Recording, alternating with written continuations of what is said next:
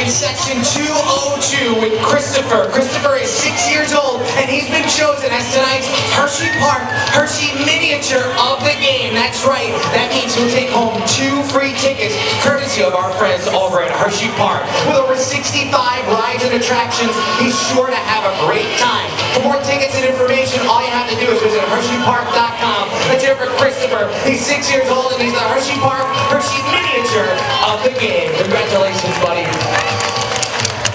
And now fans keep